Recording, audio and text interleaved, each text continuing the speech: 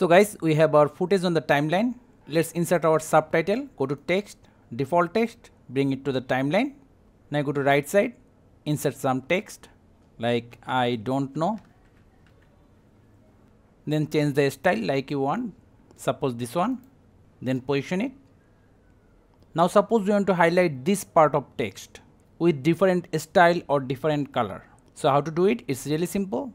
Go to right side, left click, hold, then drag and select the word you want to highlight. Then to increase the size, let's change it to like 18. Also we can use any preset style like this one. Now let's add some animation in typewriter.